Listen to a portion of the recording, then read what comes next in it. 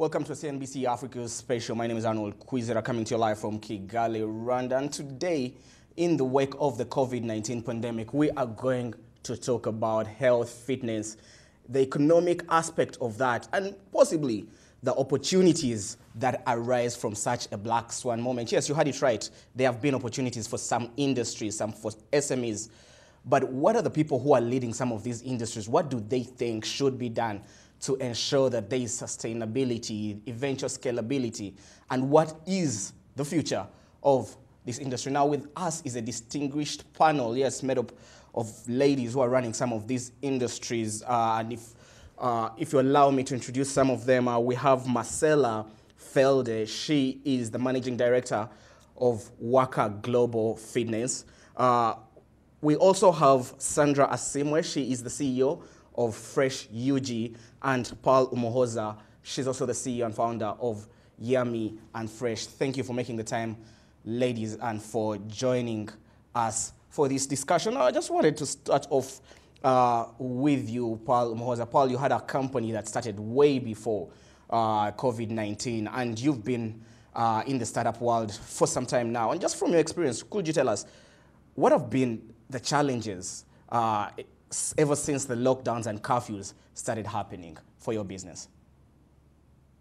Yeah, thanks again for having me today. Um, I started my business uh, in 2017, and uh, obviously, no one ever thought that this pandemic could happen. And when they announced the first case here in Kigali and we went into a total lockdown, I personally decided to close my business. So I went from running a business to shutting down, and I closed for about um, a month. So obviously that meant my staff was laid off for that time because I could not pay them, and I was I did that to understand how to operate in this pandemic because you know you have to adjust the way that you you work. Uh, so I decided to close, and that really hit us hard because uh, I could not pay my staff. I had to lay off my uh, part-time workers. Um, yeah, so I feel like I was really affected. Uh, even though most food businesses were able to continue running, I couldn't because I also operate in a home kitchen. So I felt like it could affect my, uh, my family. I decided to lay that off. So it was really tough for me uh, to also again transition and get back into business because now we are uh, back up and running. Uh, Marcella, I want to bring into the conversation. Uh, the the business chain that you're running is one of those that were mostly hit, uh, that being in the fitness world. Uh, what has it been? How has the adjustment been, and what kind of impact have you felt as a business uh, since the curfews and lockdowns? Yeah, thank you for that question. Um, obviously, as a gym, we've been extremely hard hit by this pandemic. You know, we've been one of the industries that have been forced to remain closed for more than five months now uh, and that's drastically changed our operations. Waka is actually extremely lucky in the fact that we are not just a gym. So, in accordance with the government guidelines, we've been able to keep our co working space fully operational. A lot of people who normally work from home have switched to working at Waka during this time, and other companies who have been forced to downsize because of the current economic or financial situation they're in um, have chosen Waka as a place to rent space for their essential rotating staff.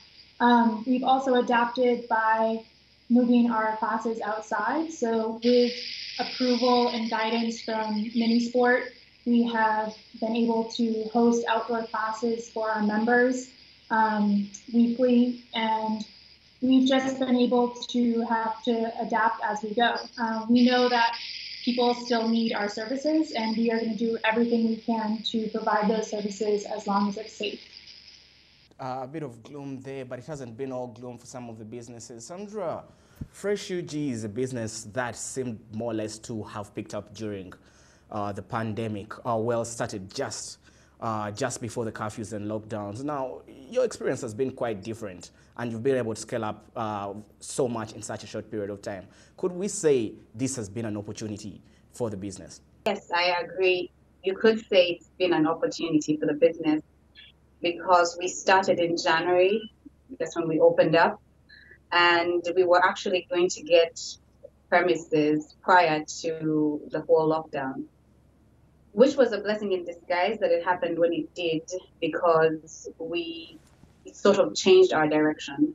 And we went from our initial plan of opening up an actual store, which is the brick and mortar that you know we're all used to, to going online completely. And uh, we've been able to focus our efforts online, and the results have not been bad, I should say. Keywords uh, that are you're using, uh, they many of more or less, if I'm to paraphrase, is has been a, a adaptability, adaptability of your businesses. And Sandra, I want to start with you before I come back to you, Pearl. You had it in your earlier comments. You had to evolve and adapt. Uh, Sandra, you've had to change your business model from what you initially planned. How have you gone about yeah. that to ensure that your business starts to pick up and is sustainable? I think we really pretty much have to, had to change how we look at business. And for everything that we intended to do as fresh on the ground, that is, have premises, have people do marketing, advertise, we're doing everything that we would have done on the ground online. So all the resources that we were initially planning to invest in an actual store. We're now using all those resources into building um, a website, um, increasing our visibility and advertising online, and using all the different aspects and avenues, um, email marketing, to try and get clients from the internet, pretty much. Pearl, to bring you back into the conversation, you talked about adaptability. You affected negatively at one point. How are you adjusting to ensure that uh, the business continues to thrive? Advantages I had again was that I was operating online uh, through the third party company that does our delivery, which is uh, Vuba. Uh, so it was quite easy to get back to business in terms of um, our, our operations. Uh, so in terms of adaptability, I wouldn't say there's been much to adapt, at least for my business, because it's mainly delivery, and that's what other other restaurants had to do. So for me, it was more just get back to business. Now that I saw, okay, now all we all my staff have to do is start wearing masks. You have to wash your hands before you you get to the kitchen. Even while uh, cooking, you have to really practice a lot of uh, sanitization. Uh, so in terms of operations, I didn't have to adapt much. Um, but in terms of uh, maybe like the people who are going to procure vegetables right now, they have to be extremely careful because of the markets that are highly affected. So it's more in terms of the sanitization of the uh, impacts of the pandemic right now. So basically, using digital tools has worked for you. Uh, it has been infancy. But uh, Marcella, bring you back into this conversation. Uh, you, you, don't have the luxury to just be a digital business. You know, yours is more or less a very physical one. Uh, uh is there a chance of you even adapting to what we are seeing as the new normal because of this black swan moment? Yeah, um, we actually were able to switch pretty quickly during lockdown, even at the very beginning of lockdown to providing online content for our members. Um, we have a, a, wide range of very skilled instructors and personal trainers, and um, with the use of some technical help, we were able to get them filming at home their own workout routines so that we could start sharing that with our members online through Facebook and social media. Um, we noticed that there was a huge uptick during the first initial lockdown um, on social media, and it was really a key way for us to get to reach our members um, who were feeling quite restricted um, at home and unable to leave their houses at the initial period. Um, so we were lucky that we had the resources and the team to mobilize quickly and make that transition. Um, since the lockdown has eased a bit, we've noticed that people are less interested in keeping up with that kind of online content, and people are really just craving that in-person um, interaction with their coaches and trainers. And that has been quite difficult, but we have been able to keep in keep in line with the mini sport guidelines and provide that social distance outdoor um, environment for our members. And we hope that you know with future guidelines we'll be able to um, continue adapting to those to the, current environment. just just coming back, uh, staying with you there, Marcella. I wanted to talk about uh, solutions uh, from a policy perspective to ensure that uh, there is a reopening of your businesses during what we might be the new normal going forward. What do you expect from policymakers? Because your business pays taxes, it brings jobs to, to the economy. Uh, what could be the solution moving forward?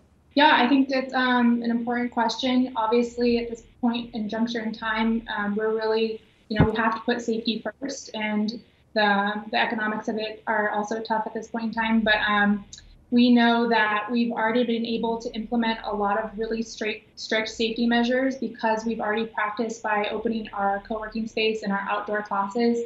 Um, so really, it's it's about you know making sure that we stay in line with what the government's um, determines is a safe uh, way to operate. Um, so the measures that we put in place are, you know, as other businesses have, you know, checking members' temperature upon arrival, enforcing the use of face masks, using hand sanitization, and social distancing, being really strict with social distancing. That means not just, you know, the physical distance between um, members and trainers, but also the equipment being spaced, removing those hard to clean fitness accessories, um, you know, really making it uh, stripped back. But as a gym, we also have software that enables us to um, control the number of people who are attending our gym. So we really know when we've hit our maximum safe number of members inside of our space based on the square footage of our space. We'll be, you know, rotating the class schedule in order to um, have cleaning done in between sessions.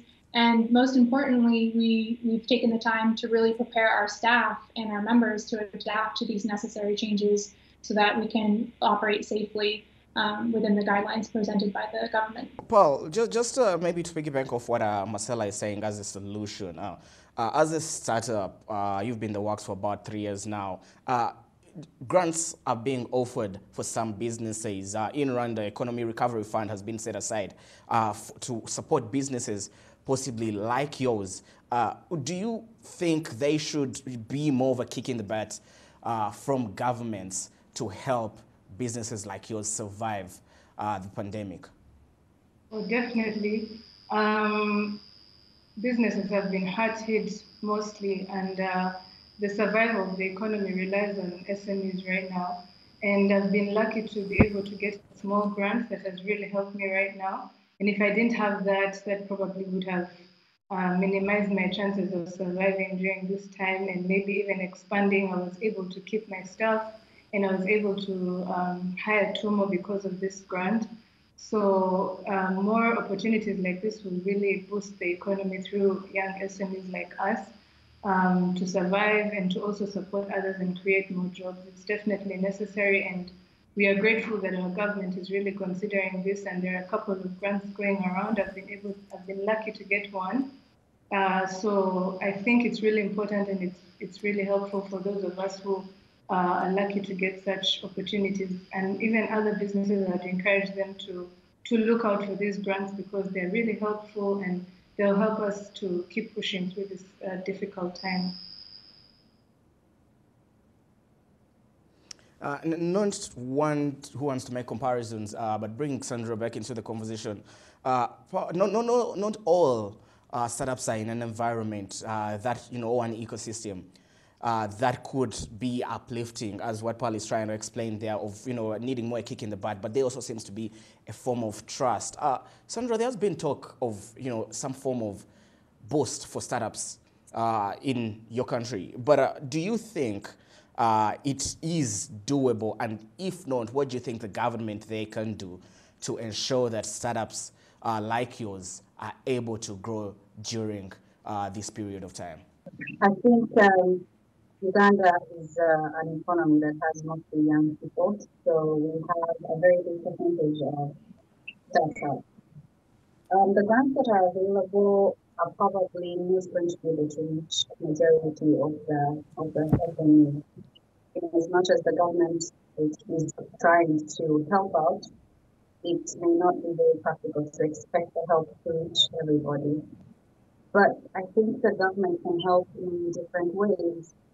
Um, the ways that all businesses can benefit from, for example, the lending rates a lot of businesses are struggling with uh, arrears in terms of um, the rent that they accumulated during the period where they were not allowed to operate lockdown. So if the bank could, uh, if the government could come in and have the bank enforce more lenient lending rates, then that would help out. And um, it could also help out with the, the telecom. We have a bit of an issue in terms of um, the high, uh, high tariffs for internet. Most of the businesses are now working online, and um, it will help if, if internet is a little bit cheaper. Uh, thank you. Uh, enough of uh, government policies and all this. Let's you know. Let's let's get into your consumers as well. And uh, Sandra, I want to start with you. Pearl, you can piggyback off after.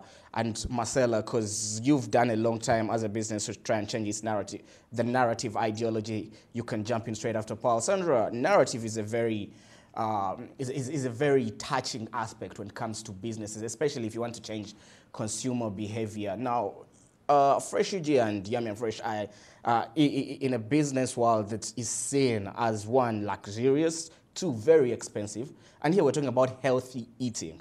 Yeah, people believe only a certain group of people can afford healthy meals. Yeah, uh, what role and what have you been doing to change this narrative, Sandra?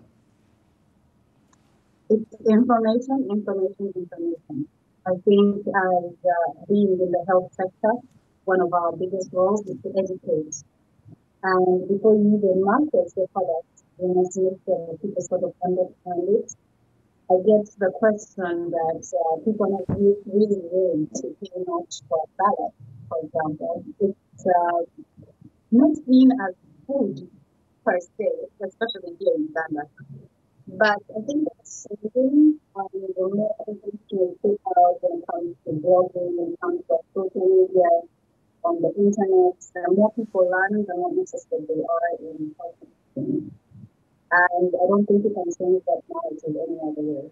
Our first duty is to educate and then share products. Because when people understand, then they're willing to buy. Pearl? It is true that uh, people think uh, eating healthy is uh, expensive or for the rich, but I believe that Africans, we are blessed with the best vegetables and fruits and at the most affordable rates that you'll find anywhere else in the world. So I always tell people, look at what you're consuming. And like Sandra said, it's, it's all about educating and creating awareness. So when what, what you find is available in the market is usually really expensive. And that's one thing that really inspired me to start my business because I would look at other restaurants uh, offering maybe a salad and you find it's extremely expensive. And if you're using locally sourced uh, produce, there's no need to make this item too expensive. So that that has been my goal to make healthy food, you know, affordable and then also exciting. Because some people make healthy food not too tasty, and people kind of get bored. They think, okay, it's expensive and it doesn't even taste good. So why should I waste my money spending money on a meal that I'm not even going to enjoy? So my goal is to always make people enjoy the experience of eating healthy and not spend too much money. And that encourages people to always come back. So healthy food is not necessarily expensive. You just need to uh, learn how to play around with food and make it more, you know, exciting and more tastier.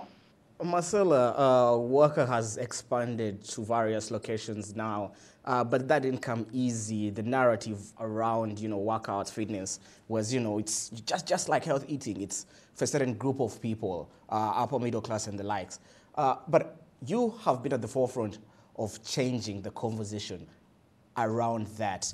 What are some of those tips uh, for other businesses that you've had to ensure that, uh, that people look at fitness uh, in a different light? Um, yeah, when we first started out at Waka, um, was definitely seen as kind of a luxury item to have a gym membership.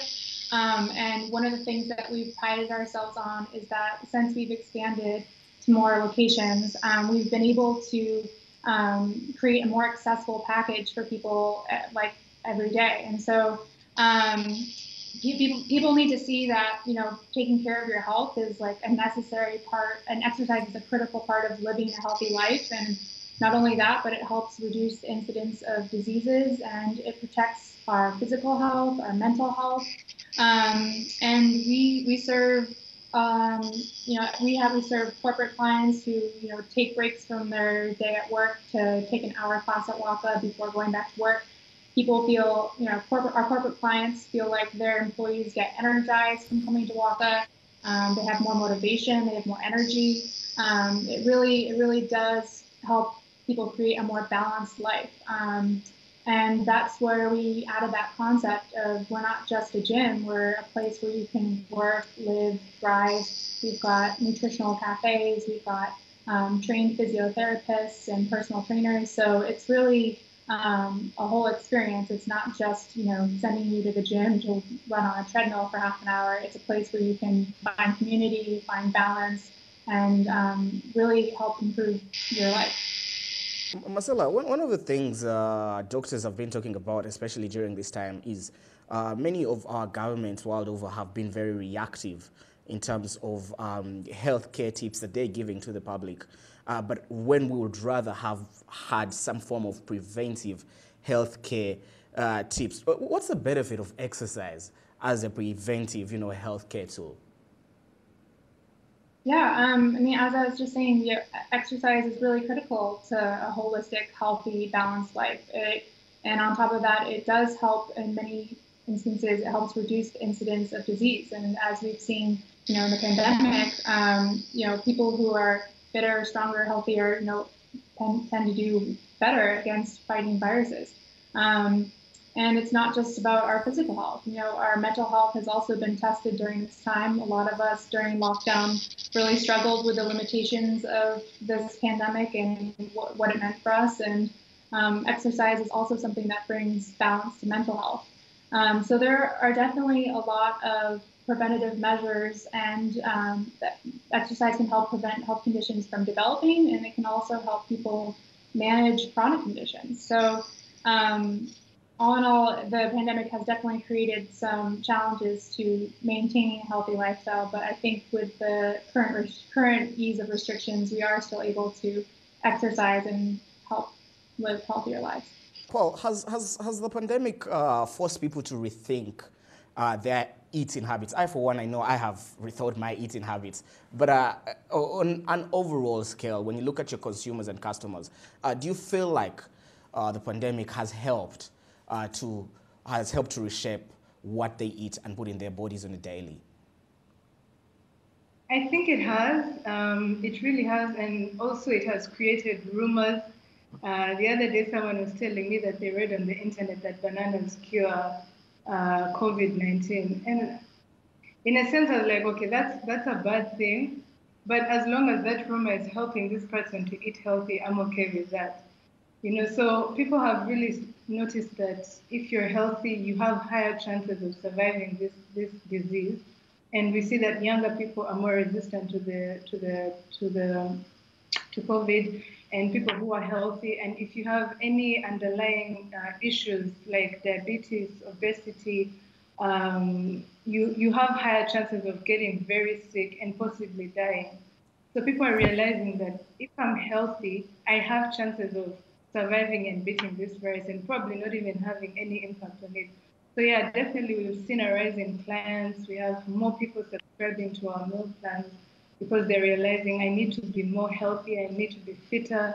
If you go around in Kigali, like at the premature roundabout, for those who are in Kigali, there are a lot of people who are running around, finding other options for exercise. And I personally go for the Waka class um, at Kimihurura so we are people are adjusting. Like we said, this pandemic is forcing us to readjust to find better ways to uh, be healthier. People are opting for YouTube channels that offer exercises. So people are realizing that it's very important, according to the statistics available, showing that if you're healthy, you have higher chances of, of, of not being affected. And if you are sick, there are chances that you might get very sick and possibly die. So we encourage people to you know, take care of their, themselves both by exercise and eating well.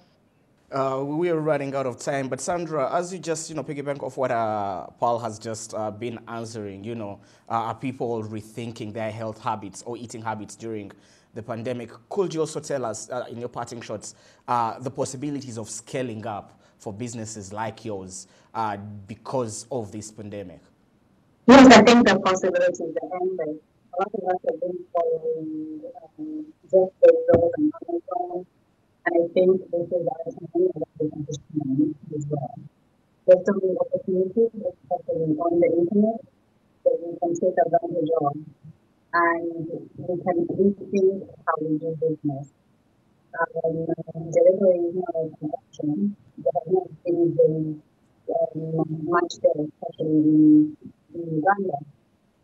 So a lot of us are looking now at uh, the many opportunities in logistics, delivery, the opportunities in uh, making food yourself because now the barrier to entry is much less since we don't necessarily, the people realizing we don't necessarily have to have a store in a big mall to supply your.